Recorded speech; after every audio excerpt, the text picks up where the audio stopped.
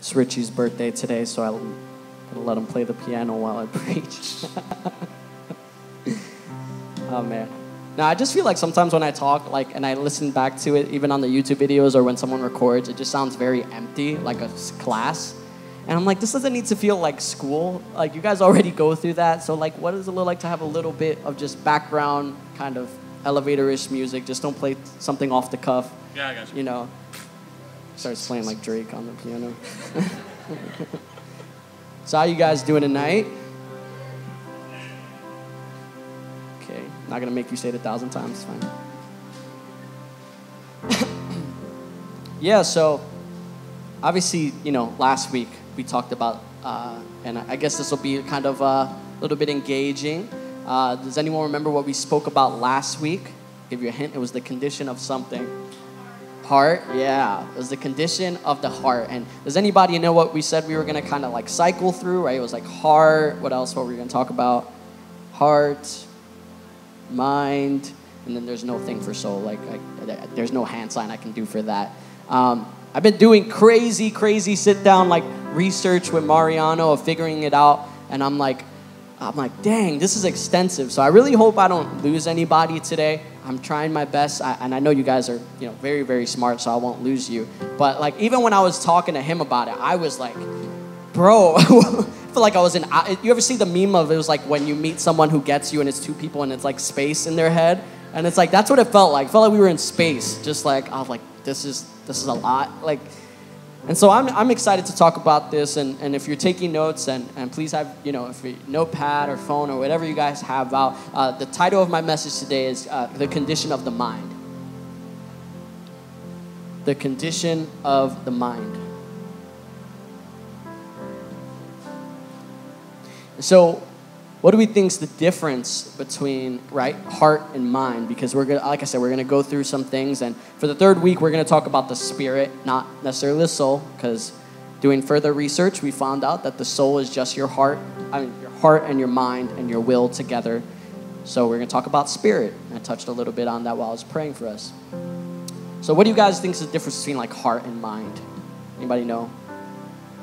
Your heart. Your, uh, one of you, Isabella, you want to go? Mine's more logical, right? And what, what about the heart? What? Feelings, yeah. So it's it's it's almost like your heart is feelings and your mind is like you know more thought based, more thinking, right? That's why oftentimes people say, yeah, I got to be careful with how I feel and operate on what I think and what I know. But the reality is, again, they're both very important. The heart is important. The mind is important, right? It's not less. It's not more of like, let me throw my heart away and just use my head. No, that that doesn't work too, right? Because they affect each other. Sometimes the way I feel affects the way I think, but sometimes the way I'm thinking affects the way I feel. And I'm going to go into these points, and I don't want to jump any, uh, jump, you know, advance or, or go too fast into point one without sharing the things. But uh, you know, the biggest thing, and, and I even read it to you guys in worship. Uh, that was kind of highlighting this idea of loving God with everything and kind of breaking it down was found in Matthew chapter 22, verse 37. And if we can put it up there on the little sky Bible, awesome. Thank you so much for Eric. Can we give Eric a round of applause?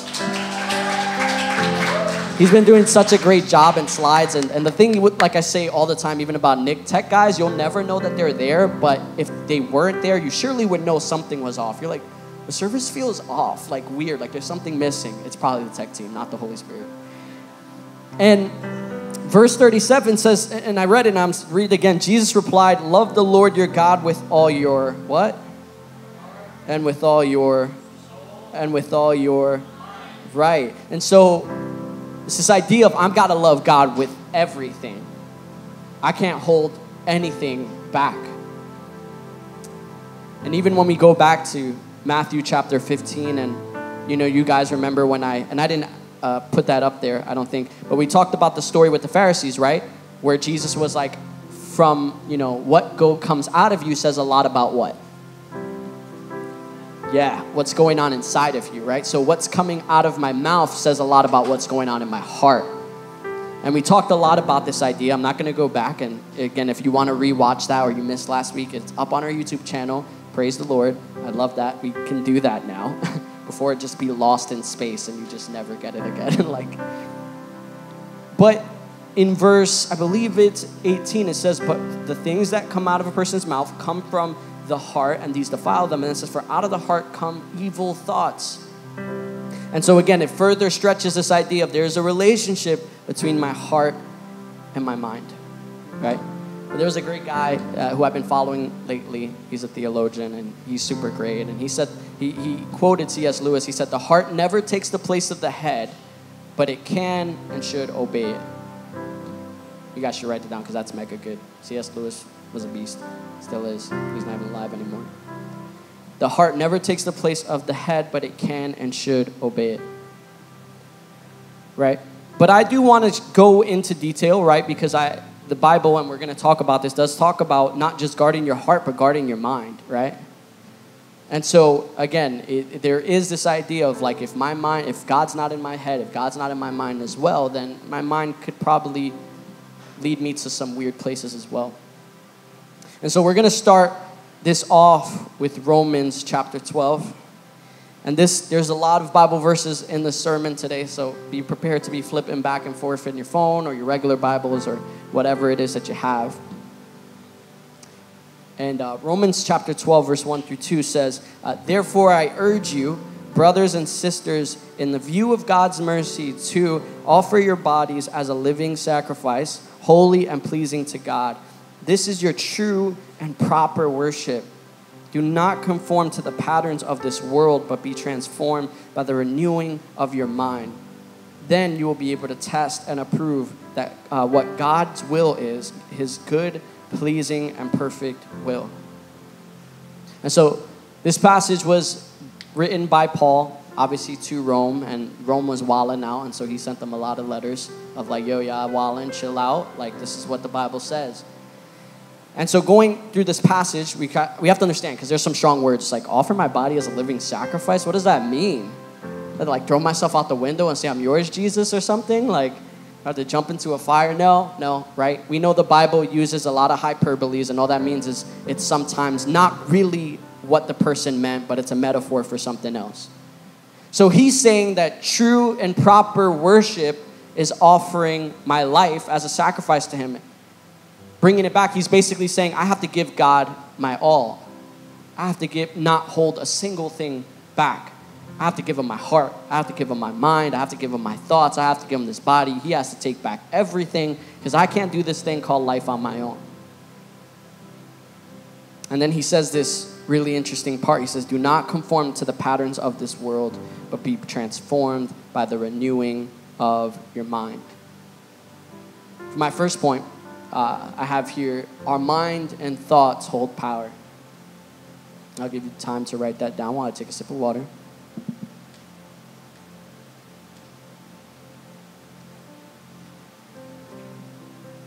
Where are my overthinkers out here tonight? Oh, can I have any? Wow, I'm not alone. Amen. Come on, that's good. Yeah, I'm one of those guys. My mind can like run ultra rampant.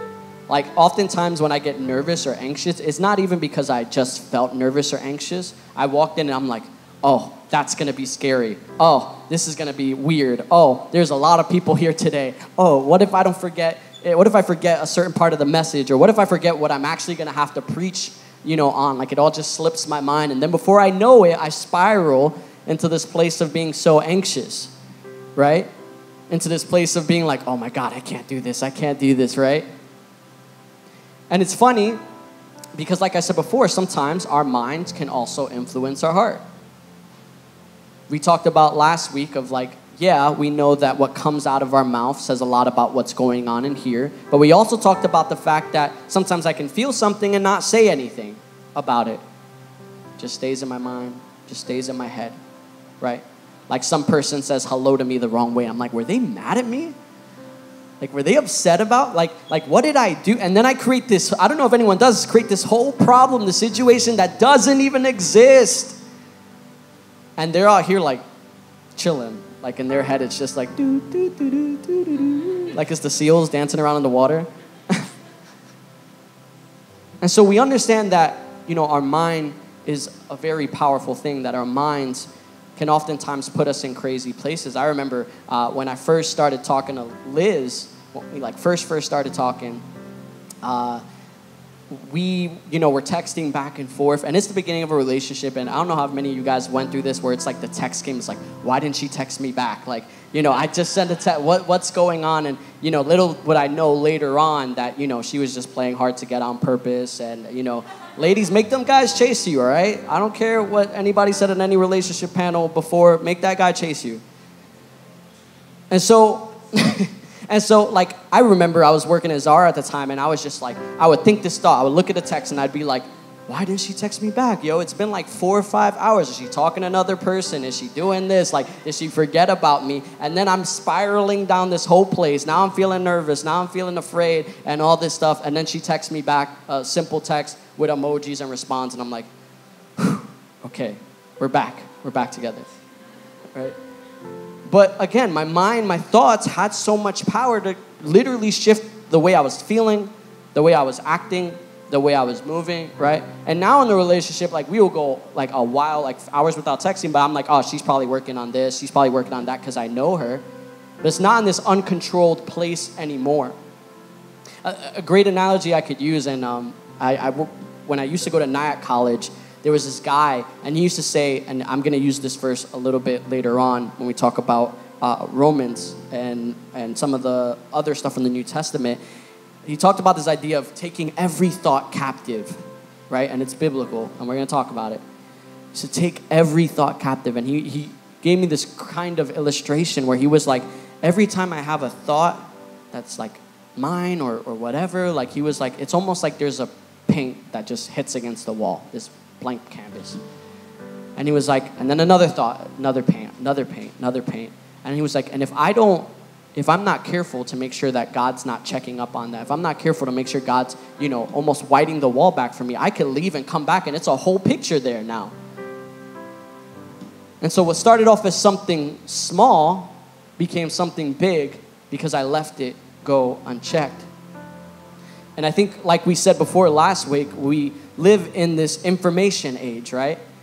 Where there's so many stuff that's literally coming at you. You're not even looking for it, it's looking for you.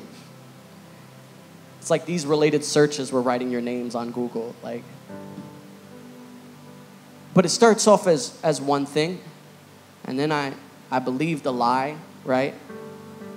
And I left it there, and I was like, ah, oh, it's, it's just there, it's just there. And before I know it, it went unchecked and it became this ugly monster wearing this mask of truth, and I just left it there. I, I love people like, you know, Isabella Fraga. I literally wrote your name on my iPad. Who comes to our small groups with such the hard hitting questions, the existential crisis questions. Because it's like, there's this understanding that it's there and she's not just gonna leave it on, in, on the inside of her and just be like okay well i'm just gonna figure this out someday she's like no i, I, I want to pass this to someone and i think the problem is oftentimes we're not like isabella and so we try to deal with all our thoughts and everything that festers on our own can i tell you that you are not meant to try to deal with your own thoughts on your own you're not called to just have all these ideas and all this stuff going on in your head and just be like, well, it's going to get better someday. Our thoughts hold power. And it's why I'm glad that we have, you know, the leadership here and the small groups here, and we're going to go into that idea in the second point. Because if it's not checked, it's, it's what we see in the world where someone can once be a, a good, Christ, a, a, good Christian, quote unquote, and, and all that, and then something happens and a thought festers and something happens, and then all of a sudden they walk away from the faith. And the craziest part is, even if we're struggling with it, even if we don't get it, this book is still true. It's one of the most historically reliable books ever. And so just because I'm struggling doesn't mean this is no longer real, no longer fact. It doesn't mean God just disappeared from the heavens because, oh, oh man, he found out. He asked the wrong question, God just fades out of heaven. Like, doesn't happen that way. I have to learn to adjust. What's that saying? It's like facts doesn't care about our opinions or our feelings, something like that. Don't care about our feelings, right? And so I want to talk about this today because I think for a lot of us, we have good questions that we're afraid to ask. But because we're trying to do it on our own and it's festering in our head, it's becoming something much, much uglier, and we're not even looking out for help. That's why I love the example of Isabella, because she'll just be like, dude, I've just been thinking about revelation and heaven and hell and, and this. And I'm like, good, let me get in the Bible and get you some answers. and she challenges our whole leadership team. Any girl will tell you that, right? We're not supposed to run away from these questions, we're not supposed to run away from these thoughts. My second point, if we can put it up there, be careful though of who you let into your headspace. I hate you guys. No, I'm kidding. I love you guys so much. I try my best not to smile when I hear that. Sorry. Be careful of who you let into your headspace. So now you know how powerful your mind is. You know what it can do. You know it can mess with your heart. You know, because we know when we have certain things that are festered and we don't deal with it the right way, eventually they lead to unprecedented actions. And so, what was once a little thought that I left there for too long led to me doing something I wish I never had done, or I shouldn't have done, or made me act brand new. So, my question, even right now, is well, who has access to your mind? I'll give you guys a second to think about that or write it down or whatever. Well, who has access to your mind? I'm going to take another sip.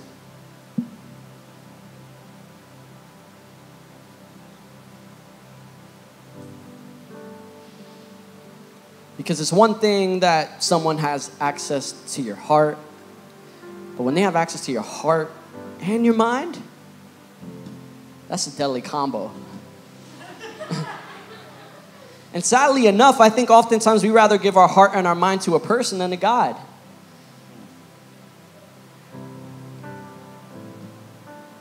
And I've seen some of the most amazing guys and girls and, and people who are after God's own heart give their heart and mind to the wrong person. And what would happen is that they would think, they would start to believe what that person believed. They would start to think what that person think. And the saddest part in situations like that is someone also have you thinking their reality is your own.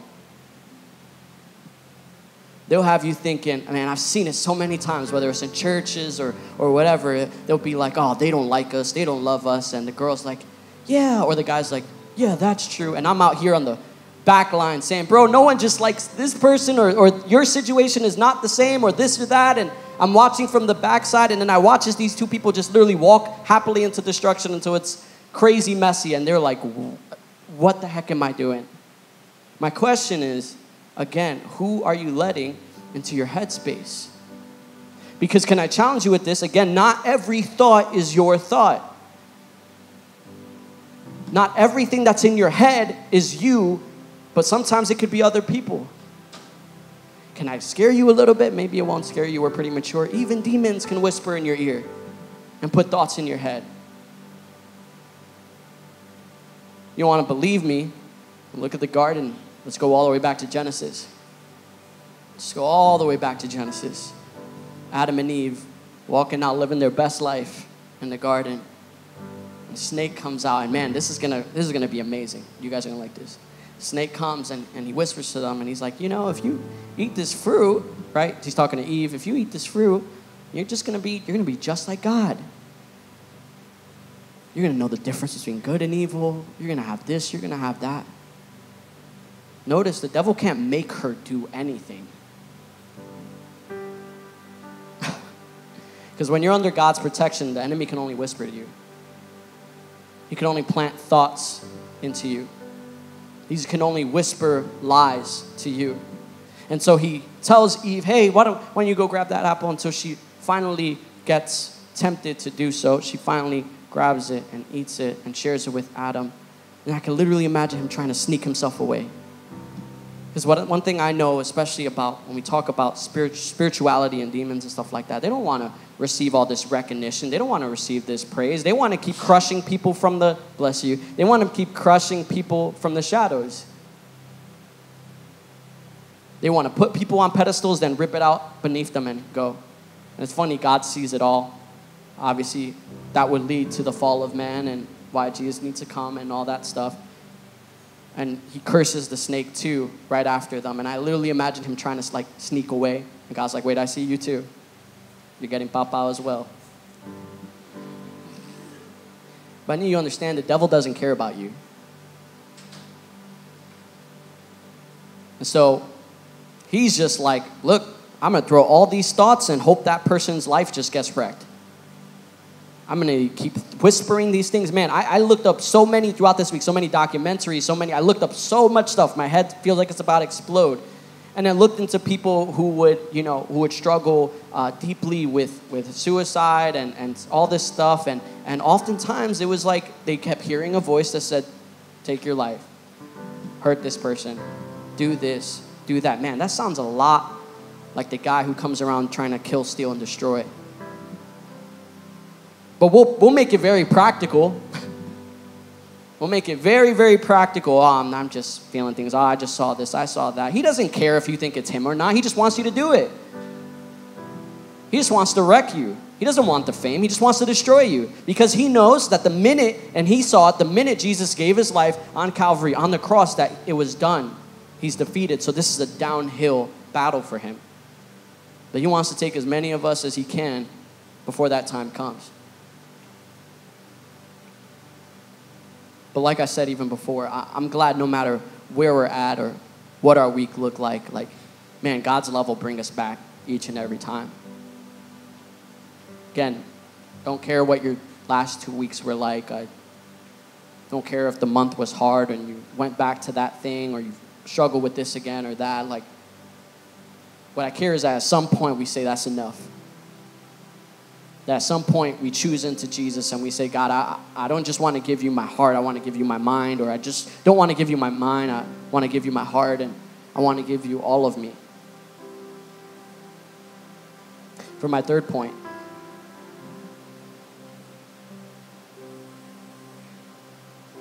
don't exchange the truth for a lie.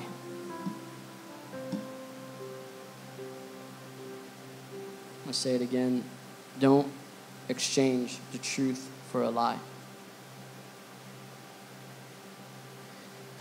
And even in Romans, it talks about this idea of let God be true, let every man be a liar, right?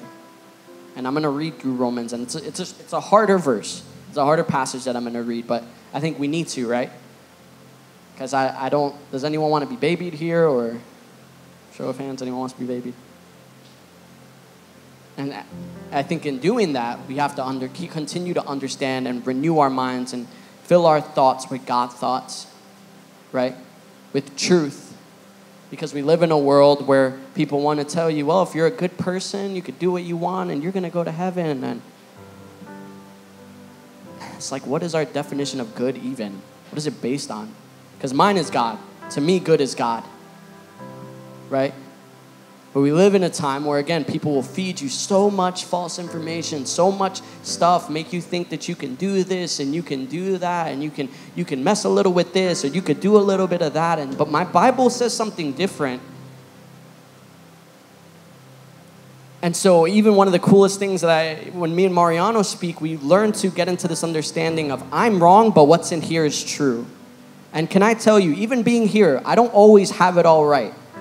There's certain stuff that I learned growing up in church, and I came here and did heavy studies, and I'm like, wow, that's not even in the Bible. I think follow your heart is in the Bible. No, but it sounds cute. It's like, you know, you put it in the movies and you, you're like, follow your heart, Billy. He's like, I love you. Just keeps running. For some reason, he's a country guy. follow your heart, live your truth. But then when you go back to the Bible, and we're like, wow, those, all those sound cute, but none of them are in the Bible. And we have to be so, so careful with that because I, I, I, and I think I said this before, I wish there was a part two to a lot of these movies where you see what their life looks like six, seven years down the line and what marriage actually looked like in a real way. because that's what no one sees. But that's what we think that's sometimes what this our generation is being taught we're being taught that faster is better. We're not being taught that sacrifice leads to better. We're not taught that even uh, we've been going to the uh, a few of us going to this guy Dave Ramsey who's teaching financial peace. He's an awesome guy, and uh, it's funny because it, it, doesn't even feel like financial peace. It feels like a premarital session. Like just see a bunch of couples who are just I'm ready to get married. Like, um, and one of the cool things that he was basically showing and talk about is ideas like I'm gonna live now like no one else would to be able to give later like no one else can. But in this generation, we don't, we don't want to do that. We don't want to give up our minds. Because then that means maybe I might have to actually now start listening to God. Maybe that thing that He asked me to do, I have to stop making excuses as to why I can't do it. Maybe that thing that I'm feeling in my heart, I can't listen to it anymore because I know that that's not God, that's me. But if we would do it now, what our lives would look like, what we would be able to uh, reap two, three years later, how we'd be able to give, not just financially in our case, but from ourselves and spiritual things that we might have gone through or moments we might have had with God. And so I want to read Romans chapter 1, verse 18 through 24.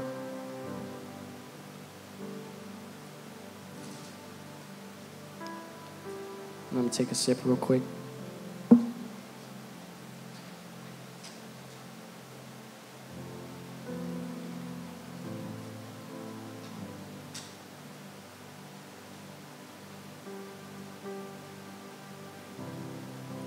So this and and I funny enough this was my original kind of opening passage that I had and I felt God say leave it to the end because uh, Romans is a very heavy book and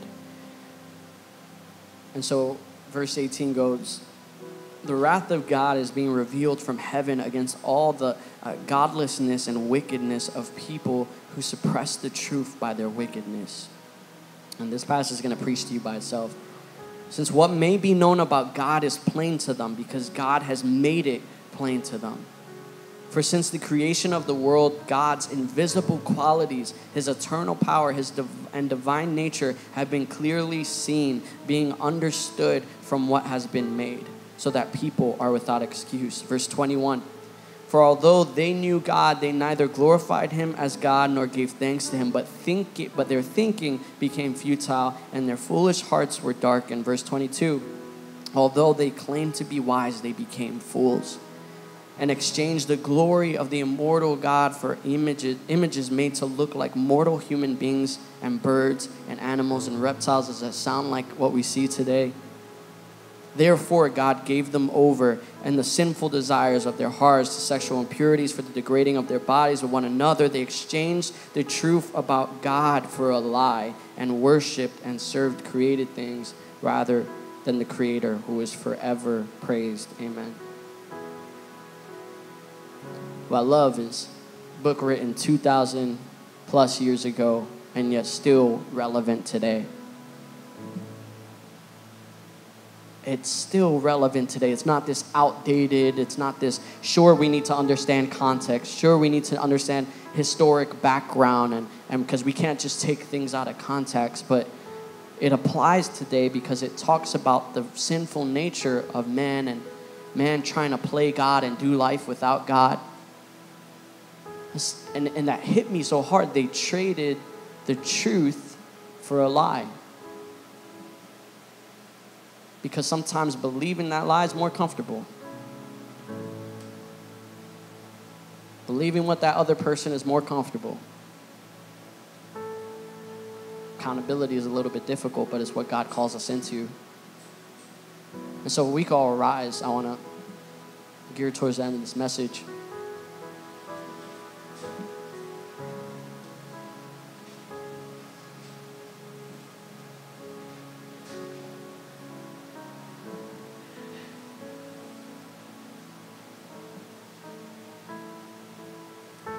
So I want to go through the points one more time just in case someone forgot it or you want to just take a mental note. But again, the first point was our thoughts hold power. So what you think, what you let fester, it holds weight.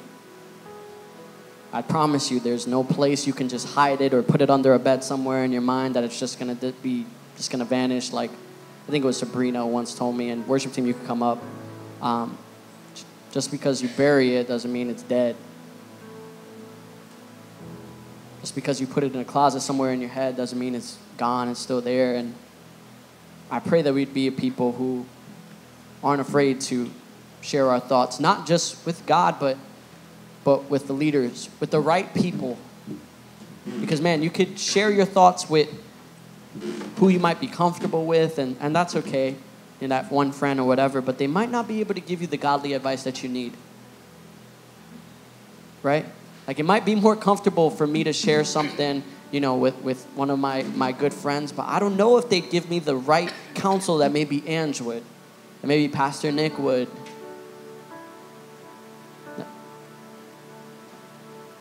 And so we have to be careful with this idea of what we're allowing in our minds and what we're allowing to stick there. Um, secondly, again, be careful of who you let into your headspace. Because not every voice in your head is yours. I remember one time I had a conversation with one of my old friends, and it was about church. It was about, uh, I think it was about worship music. I don't know what it was, but I was like, like I was like saying, hey, why aren't you doing this? Why like like what's you know what's going on? And just checking up on her. She's like my little sister, and she was telling me all this stuff. And halfway through the, the conversation, she's just like, you know what? Let me stop. I don't even think that. Like this person is talking through me right now. And I was like, whoa, like that was a cool moment. I'm like, I'm glad that you, you know, had that. And and listen, guys, you all know what it's like to have that close best friend and they have that toxic ex and you're like dude you need to stay away and then they go back to it and you're just like i'm gonna kill you like everyone knows what that feeling's like. Again surround your people surround yourself with people who are to challenge you people who have been there for you since day one. I talked about it even with relationship goals where i was like saying how i had these you know, rose colored glasses, and I had people, you know, like Ange and Luciano, and people who were just like there for me and trying to speak over me, but I was so blind. Like, share your thoughts with the right people, share your heart with the right people. And lastly, again, don't exchange the truth for a lie. Colossians chapter 3, verse 1 through 3, and that's going to be the last passage I kind of read before we end things.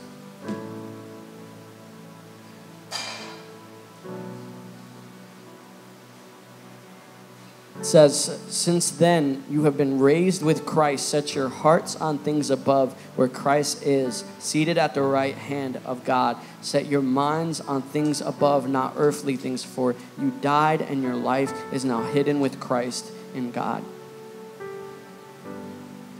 If we can bow our heads and close our eyes, and if we get like two girl leaders, two guy leaders over here, if I could just get Liz and Gabby is fine. And for guys, just do uh, Mark and Jason.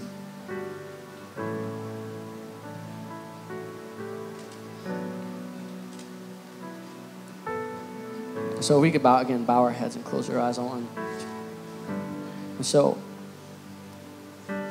so we know the condition of the heart now, and we knew, and now today we understand the condition of the mind, and we understand both of them need to be surrendered to God. Because I I understand that I, I and we're going to go into this in the third week where we're going to talk about our spirit. I, I want to be someone who doesn't just go by what I feel or what I think, but what I know God is speaking to me. And so, my prayer for tonight is that there's anybody who's like, yeah, I'm in a place where my thoughts have been going off the wall. My mind has just been off the wall. Or even my heart's been like off the wall. And I, I know I can't just keep it in anymore. Then I, I encourage you, guy with guy, girl with girl, would you go, come up to one of our leaders and, and, and talk with them and share, share your heart, share your mind. Promise you, these are people you can trust. You're not going to end up seeing whatever you're going through on the New York Times tomorrow. Like, No, they're very secretive, not secretive, discreet, but um, my encouragement is that you'd go up to one of these leaders, that you would pray with them, that you would talk with them, and, and that you would share what's going on, and that they'd be able to pray for you and over you. Like I said, we, we don't just want to be this once a week thing for you where we help you up on your feet and then not prepare you for what next week looks like. These people want to pray with you and prepare you for things to come in the next weeks. Because what I understand, if we be real and I can be really honest with you, the devil's always waiting for you outside those doors. He's not welcome here, so he can't he can't stay. Name of Jesus is too scary to him. Once you go out those doors, it's a free game. We want to prepare you for that. We don't just want this to be this once a week thing. And so I'm going to pray for us for real, for real. And then again, if you need prayer, I want you to go up to one of the leaders. Lord, I thank you, God, for your message.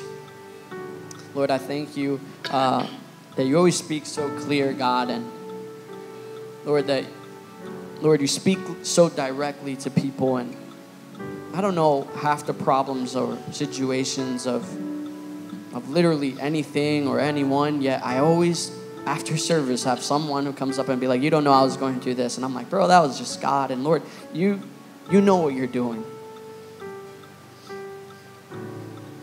Lord, you always know what you're doing, God, and I pray that um, every single heart here wouldn't leave the same. Jesus, that everyone here would know that you care enough about them to bring things into the light. But we have to care enough about ourselves to want to give you those things, God. And so, Lord, I pray for anyone who this message might have touched and who just needs prayer, Lord. And I pray that they'd be brave enough to just go up to one of our leaders and just ask for prayer, Lord, because this is a community. We're here for one another and we're here for your name's sake. And so, Lord, I thank you for what you've done tonight. And I pray these things in Jesus' name. We all say, Amen. All right, I'm going to move aside. Like I said, prayer guys over here.